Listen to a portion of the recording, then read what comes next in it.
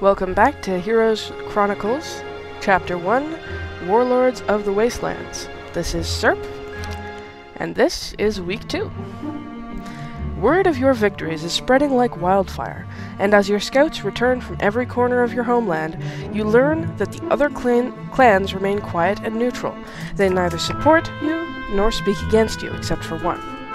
The current lord of the clans, Rabak, was appointed by the wizards as a spokesman for your people, but you've never heard Rabak say a bad word about Bracaduun. He sits in his stronghold eating a feast each night, while you recall many nights when your family went hungry because you had to clear out your stores to pay the taxes. Rabak won't sit idle while you anger the wizards. You're certain the two of you will soon meet, and not as friends. Alright, so that's, uh, Astrologers procl- proclaim a week of the condor. All dwellings increase population. Each week is declared a week of something in particular, and if it's the first week of the month, it's declared the month of that something in particular. Um, occasionally, it will be a creature which is actually represented in the game, um, controlled by one of the factions, and in that case, the uh, the unit production for that creature will increase. And you'll also see uh, stacks of it kind of be generated around the map, I think. At least that was the case in Heroes of Might and Magic 3. In this case, it's just a condor. Uh, I think that may actually be pronounced condor, which is a type of bird and is not represented in this series. There's also the Week of the Plague, which reduces all populations by half, does not generate any new creatures, and is pretty terrible for everybody. Okay get us some basic archery, have us a fight with these pikemen over here. Pikemen are a level 1 unit as well. So they're not very strong, not very impressive. 1 to 3, 10 health, 4 attack, 5 defense. They stand up better than our goblins do, but they're also more expensive. Oh, we got rocs. The rocs, I'll, I'll have uh, all my critters wait and these are halberdiers who are slightly more powerful.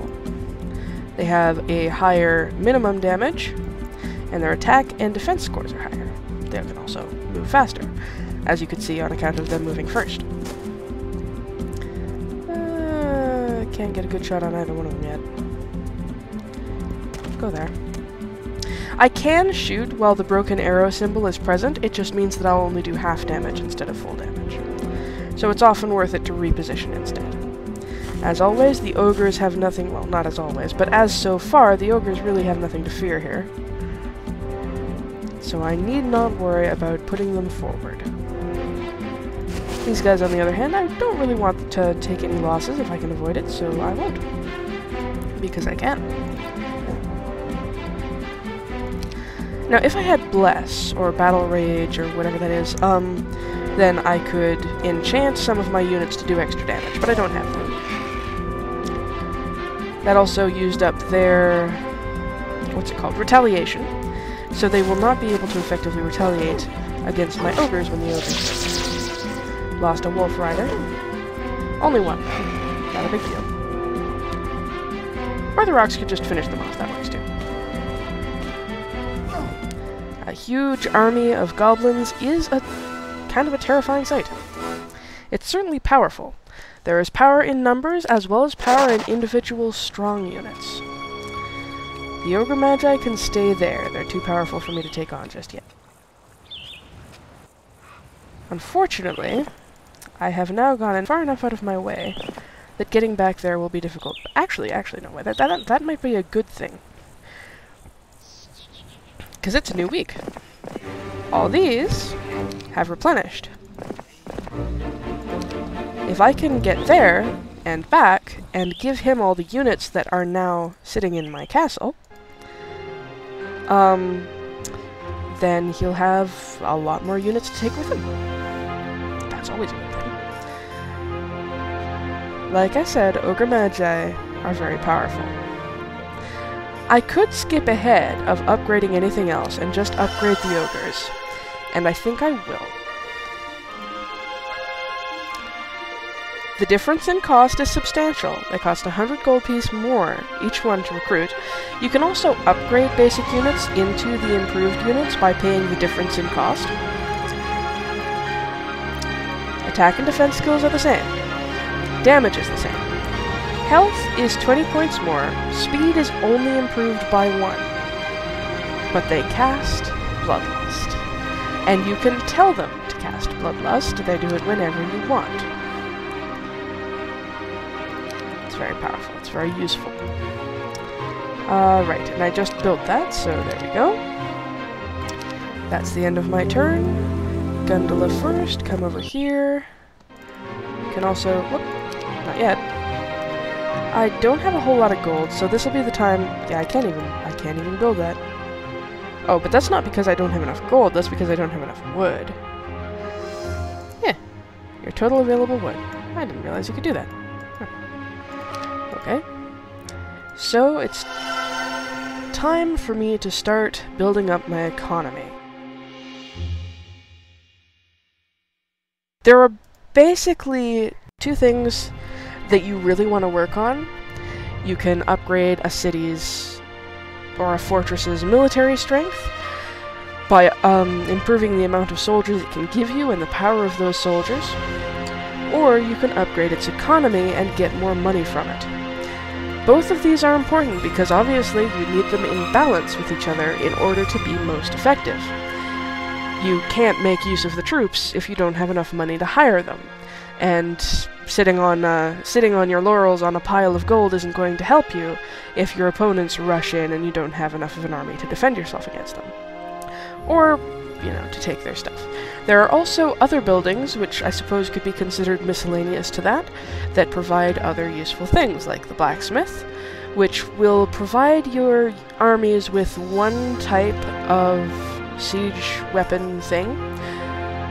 In this case, you can also build the ballista yard and get access to two, because that's something that the barbarians have that not all of the other factions have. There are many other items that are unique to the faction, such as the Freelancers Guild, which can allow you to get gold back for for creatures if you want to bring them here and basically sell them off.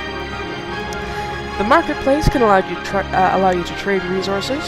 For instance, uh, if I built one, I might be able to acquire some wood by trading in some of my surplus of crystal, for instance, and I really don't need that.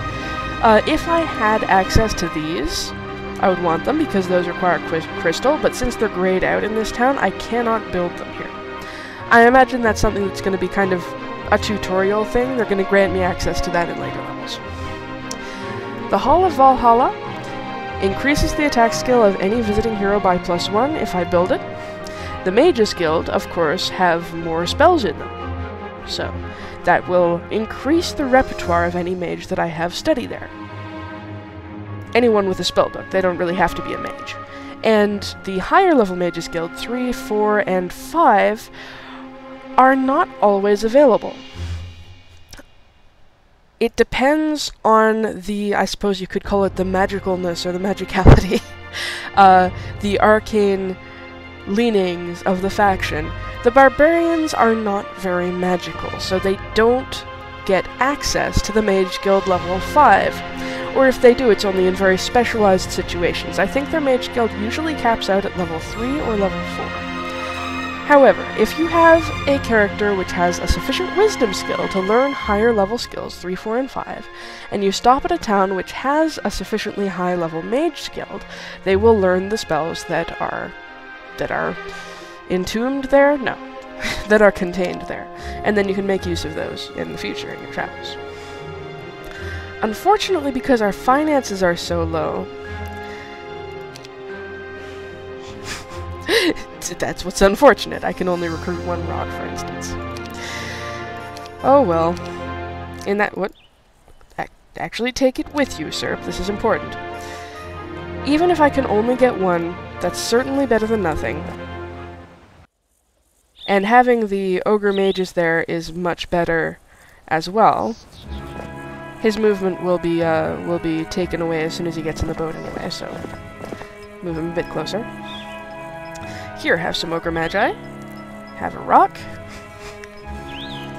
I love how that sounds. I love how that sounds like I'm just handing him a, like a stone rock. It's like, here, have a roc. Take it with you. It'll help.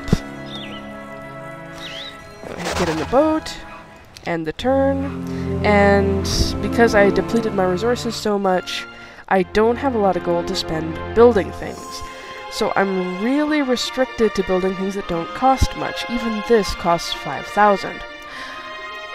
So I can spend my time building up things that don't cost very much and continue to improve my city, or I could save it in order to spend it recruiting troops later on, or save up for the city hall and get more money in the long run. However, while you're exploring the map and there are still resources to be found, you can pretty much count on finding gold elsewhere. So I'm going to go ahead and invest in my my city over here, my fortress. Go get some gems. And the Ogre Magi are still there and still menacing. And that's pretty much all I can do here anyway. Yeah, way to clear out that stuff so that Gundula can grab the gem pond that I totally could have grabbed, but hang on. Tarnum? Where are you at? That's Gundula. Tarnum, where you at? Um... Oh, right, you're in the boat. That was silly of me. I forgot that I'd put him in the boat, so I thought that I still had to do that. Now, this game is tricksy, and it'll have a whole bunch of places where there's only one square you can move through, and going through that square triggers a special event. Gold right here. For the time being, though, I'm going to pick up all these goodies that are floating around in the water because they're useful. and they'll build up my economy, like that would. That'll allow me to uh, upgrade the Goblin Barracks, for instance. What do you know of our history? You ask the older warrior sitting across from you at dinner. You've been asking your elders what they know of barbarian history, hoping that someone could tell you more about the past glories of your people, but you've found their knowledge lacking. Most haven't even heard the name of Yarg. The warrior looks up from his meal, shrugs. As much as anyone. My grandfather said we used to be a great nation, the greatest, but he didn't have all his wits. Maybe it's true, but no more. Everything falls, I guess. Even a great oak, a thousand years old, will fall one day. You're impressed with the man's honest response, but annoyed that this veteran couldn't tell you more. How do you know who you are if you don't know where you came from? Is that why the wizards outlawed the bards? You extend your hand and ask, What's your name? Hardac, answers the warrior. Okay, so now we've met Hardaxe, and yes, I realize I'm kind of making fun of his name. And he will be our advisor throughout the rest of the campaign, at least for the first part of it. Um, I, if I recall, if I if I refer to him as Hard Hardaxe, forgive me. That's just me being silly.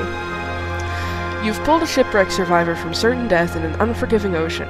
Grateful, he rewards you for your act of kindness by giving you the boots of speed. All the uh, all the items that you can pick up. Oh yeah, I can go down there too. However, oh, okay, I have to go down there because I can't land here. Could land there. Oh. and this is one of those situations I was talking about. You were enjoying the sea wind in your hair until most of the sailors strip off their sashes and draw their weapons. Rabak has placed a hefty sum on your head, says their leader, a sum we plan to collect.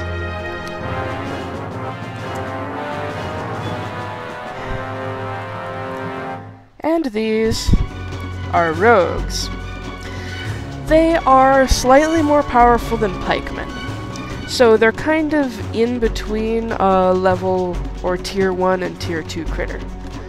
Fighting 36 of them, that's a challenge.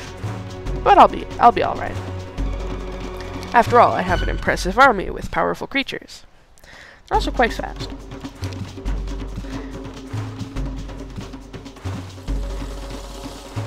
Oh, that's the goblins. Okay. You bloodlust the rocs. Now this is what's great, is that I can now... Whew! I believe that's what just increased my attack skill that much. That's what bloodlust does, friends.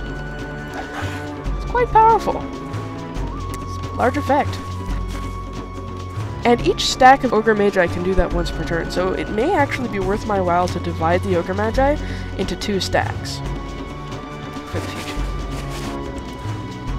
In the meantime, This roc, these rocs rather, will begin slaughtering rogues left and right. I don't know exactly what, um, how many left? One. I don't know exactly what the calculation is that determines exactly what effect attack and defense skills have on the damage dealt, but they do have a substantial effect, especially when the numbers are significant. Alright, now I can continue this way. Get that flotsam over there. And I think I will. Now there's also a sea chest. But I don't have time for it right now. Uh, Gundula, we've already visited the windmill. Kindly say so. Also, if you press space where you are, you will, for one thing, center the map. And if you're standing on a on an item that you can interact with, like a town, or a windmill, or uh, a dancing leprechaun, they exist, then then you will interact with whatever it is again, instead of having to wait. Okay, I could build any of these things, uh, or the Goblin Barracks, and I'm going to build the Goblin Barracks partly because that enables me to upgrade this one goblin here, which makes him faster. And a hero can only move as quickly as the slowest troops that they have in their army, because slow troops will slow you down. It makes sense. I could also recruit more of them. I could recruit all of them, in fact, but I'm not going to because I want to save my gold. So Gundula can just rest there for now. Yes? Sitting alone last night, you pondered the tragic loss of your people's history. You haven't been able to find a single person who knows the tale of Yarg and his horde. Some, pretending to be wise, made up some ridiculous story instead of admitting ignorance. Then a solution comes to mind. You tell your people to pass the word that you are looking for bards. Any who are brave enough to step from hiding will be under your protection. If your people are ever going to reclaim their courage, they need to rediscover their identity, and only the bards hold those secrets. It's it's a very social, and it's a very uh, yeah, it's a very social story. It's a very interesting history there. You heard this remote island was a retreat for wizards who came to visit the barbarian lands. You realize it must be true when a pack of gargoyles swoop out of the sky to attack. You may have noticed there were only two places on this island where I could land, and they were both right next to the gargoyles. To queue up this event. This is the way that the game handles scripting. It's fairly natural. It makes it fairly natural. Gargoyles are a tier 2 enemy. They fly. They're quite fast. They do meh damage. And how fast, how far can you go? I'll move up then.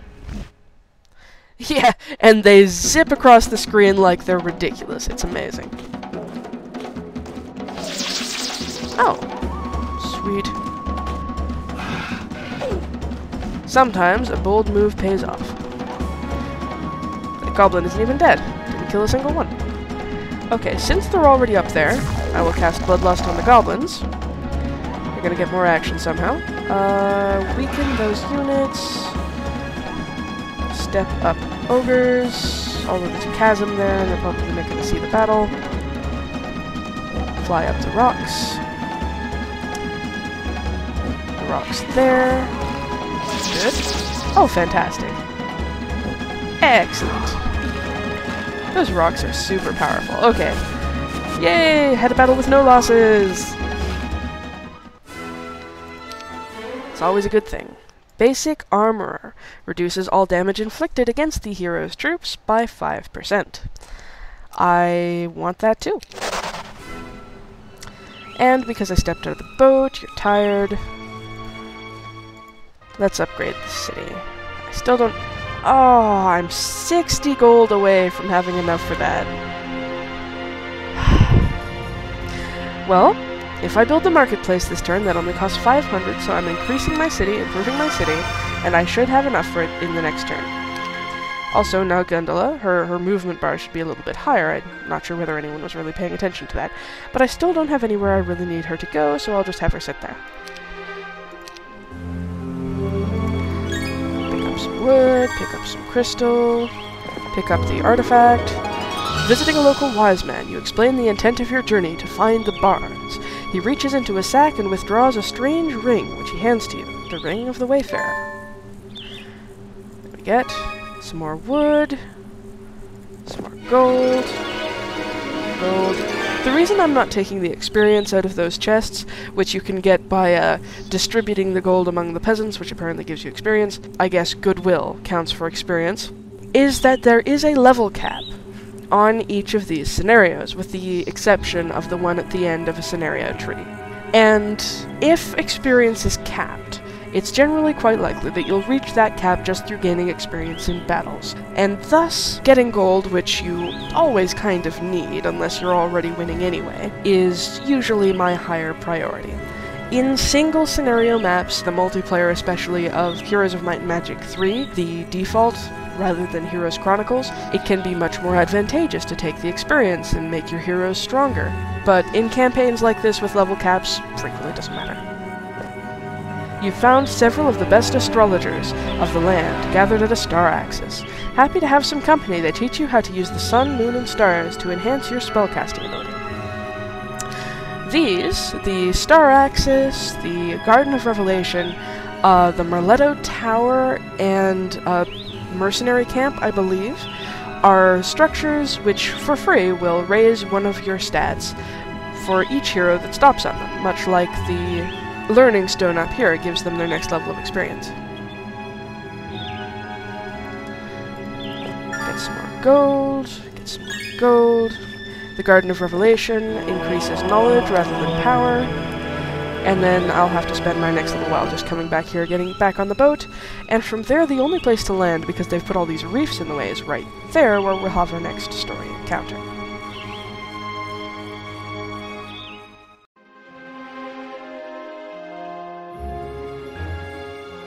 I have to build the blacksmith first. I wasn't paying attention to that. We have enough money to build the city hall, but we don't have a blacksmith and thus cannot adequately provide a city. Uh, the resource silo is also very helpful. It uh, keeps up your stockpile of wood and ore, so I might not have uh, fallen into that trap where I couldn't build the barracks if I had built that earlier. It's another economy building. I believe each faction has a resource silo, but they stockpile different things. Uh, some of them have one that isn't called a resource silo, like a crystal spring, which produces crystal. Uh, I could be entirely wrong about that. But basically, yeah, they give you resources. Your name is on everyone's lips these days. Some say you're a troublemaker that's going to bring down the wrath of Bracaduun. Others wait to see if you have the strength to back up your words of conquest. You've heard that many secretly cheer you on, but there is one obstacle in your way, Rabak, the Lord of the Clans.